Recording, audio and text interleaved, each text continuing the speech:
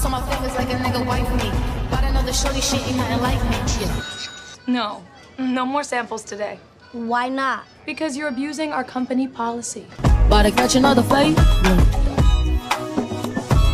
I just wanna have a good night.